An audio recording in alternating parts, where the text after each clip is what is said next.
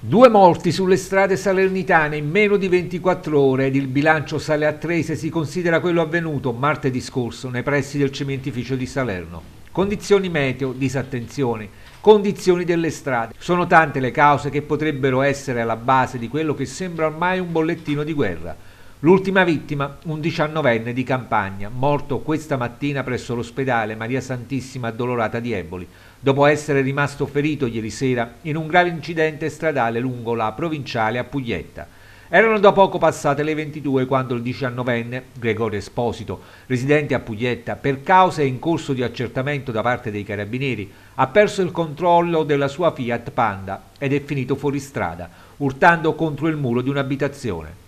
Aveva preso da poco la patente il giovane, la mostra orgoglioso nel suo profilo Facebook, su cui iniziano ad arrivare i messaggi di dolore, di incredulità degli amici.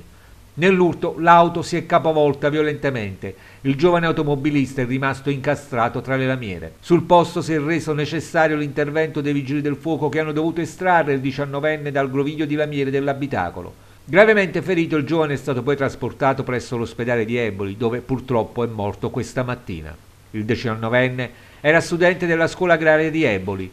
Altro incidente mortale sulla strada statale 19, un frontale tra un camion e un mezzo agricolo. A perdere la vita in questo caso è stato Domenico Lamattina, 74 anni, suocero del sindaco caggianese Giovanni Caggiano e padre dell'assessore comunale Pasquale Lamattina anche qui è stato necessario l'intervento dei vigili del fuoco per estrarre l'uomo dalle lamiere. Sulla strada statale 19 tra Oletta e Caggiano anche l'intervento dei carabinieri e dei sanitari del 118. Secondo una prima ricostruzione l'anziano che era a bordo di un mezzo agricolo è stato travolto dal camion che dopo aver tamponato un altro autoarticolato che lo precedeva ha invaso la corsia opposta. L'impatto è stato inevitabile e violentissimo.